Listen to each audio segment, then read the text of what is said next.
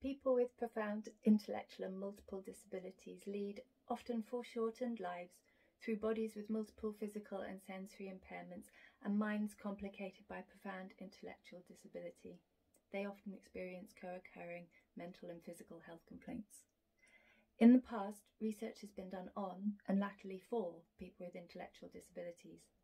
The inclusive research community, heralding the disability rights movement's cry of nothing about us without us, has pushed for research to be done with and by people with intellectual disabilities and has travelled far down this road.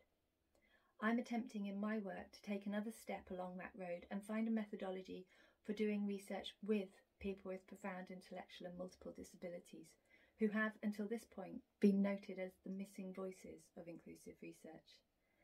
To do this, I borrow understanding from decolonisation scholars who highlight the importance of recognising the foundations of our knowing. I seek to begin my work not from a place of inclusion, a mere fact of presence, but from one of belonging, a space in which inclusion is not only functionally realised but is felt. I refer to this space as being with, though the simplicity of those words does little to capture the profound nature of the experience. Being with is fundamentally felt not thought, so I will always struggle to capture it in words, but perhaps you witness it in my pictures.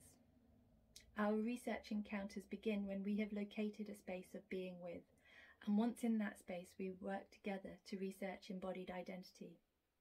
The space can be hard to find. I use Merleau-Ponty's ideas of intention to help me find my way there. I question where their intention lies. I place my intention in the same place, and in doing this, I create the possibility of being with.